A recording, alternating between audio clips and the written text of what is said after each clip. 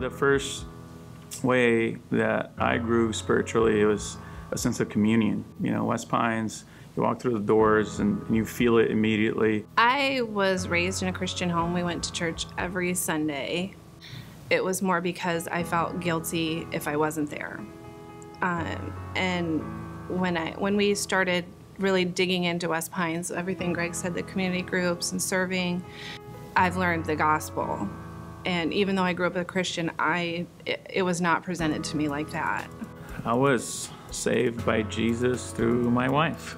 oh, that's so nice. Yeah, my, my salvation came much later in life. A lot, I know a lot of people, when they say they're born again, they can pinpoint to a single moment.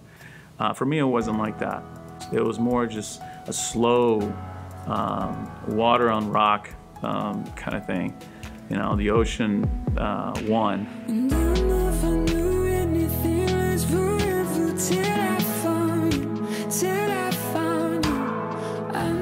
Really hard to say what led up to us wanting to be baptized because just as a family, we've been working towards that since day one. I felt like being baptized as an infant, never walking away from Jesus my whole life, why would I need to do it again? Um, but the, the kid's presence in my life made me study that a little harder. Um, maybe I should.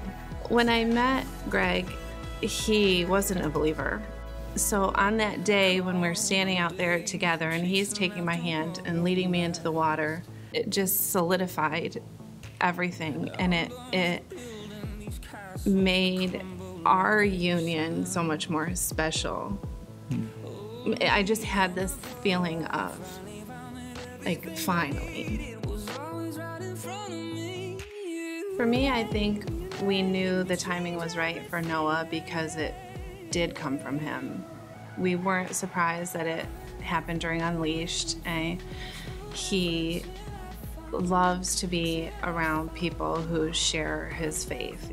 The reason why I wanted to get baptized and I finally came out of my shell was because I'm at Unleashed. I've never felt such like companionship with my fellow students there, uh, and that that was the reason that was just pushing me over the edge. I was still in the shell for a long time, and I finally found a way to, like, I wasn't shy anymore. I just believed in God. I knew it would, like, help me in a lot of ways.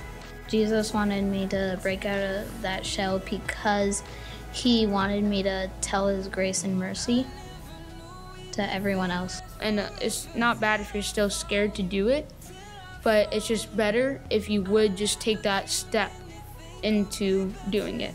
You know, the church uses this term phase, and we are rescued to rescue. And I think baptism is part of that. It's part of that being rescued first.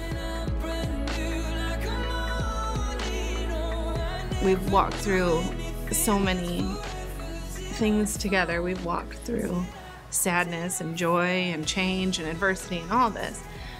And we've done it with the Lord the whole time. But to, to be there surrounded by all of the people we love and to proclaim it together, that was really special.